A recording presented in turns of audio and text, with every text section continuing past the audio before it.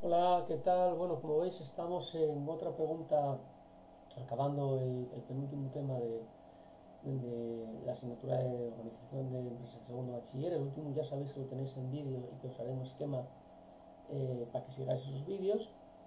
Y como veis, estamos ahora en lo que sería la representación eh, del organigrama de una empresa. ¿no? Organigrama, pues y los gráficos que representen, como veis, la estructura de una empresa. ¿no? Muestra las relaciones que existen entre los distintos departamentos de cada empresa y los grupos de trabajo de cada uno de ellos. ¿no? Tiene que tener una serie de requisitos eh, precisamente para que sea eh, operativo. ¿no?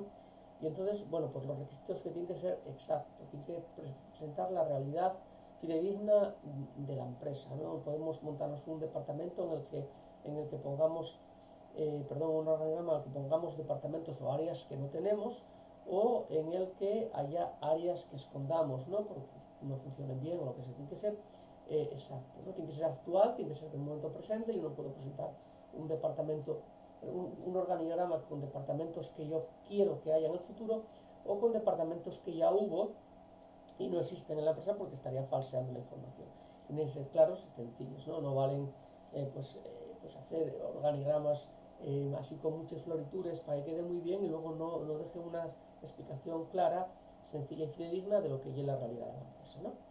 En ellos aparecen una serie de relaciones, como veis aquí hay dos tipos de relaciones que son las jerárquicas, que son lineales y que pueden ser ascendentes y descendentes, que son, bueno, pues siempre en esta dirección, y luego tenemos eh, las de staff, que son de asesoramiento, que son horizontales, ¿no? Bueno, pues eh, las ascendentes, imaginaros, vamos a, coger aquí, pues vamos a utilizar el, rojo, vamos a, dibujar aquí, pues, por ejemplo, ascendente, vamos a ver dónde está el aquí, pues sería del director a el director general, a, por ejemplo, el director de marketing o, de lo que sea, ¿no?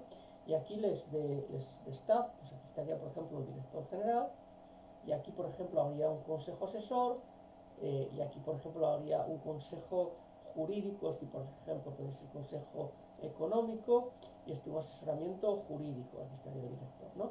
Y aquí, por ejemplo, estaría aquí el director general, el director de marketing, que esta sería la vertical, la lineal, la, jerárquica, y en esta estaría la de staff, ¿no? Bueno, pues como veis en este organigrama estamos marcando las dos relaciones que podría existir.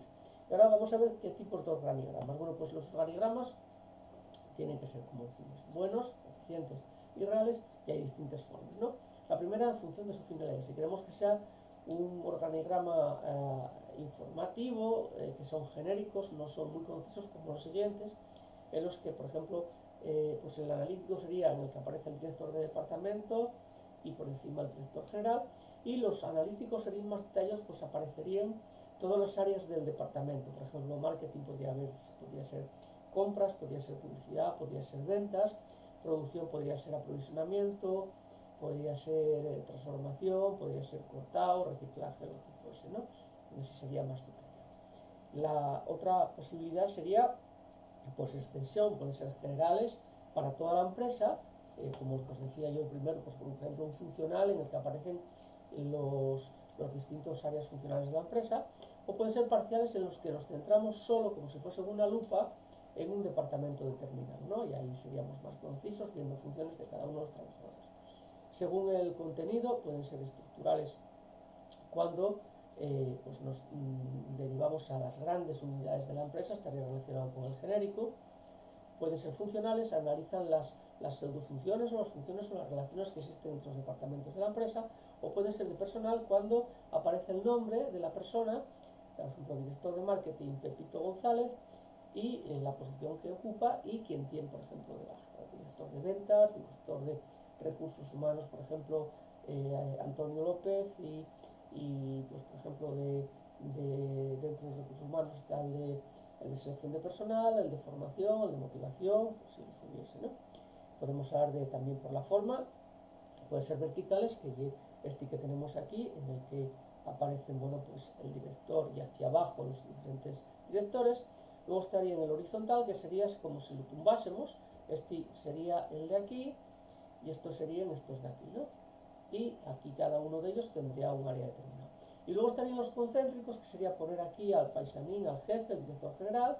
Aquí estaría cada uno de los directores de los departamentos de aquí que tenemos aquí. Y luego cada uno de estos, como veis, pues aparecería, estos de aquí, estos que están aquí, pues aparecerían por aquí, ¿no? En esta zona por aquí, que serían áreas de cada uno de estos grandes departamentos, ¿no? Entonces serían formas distintas de reflejar la misma realidad de la empresa.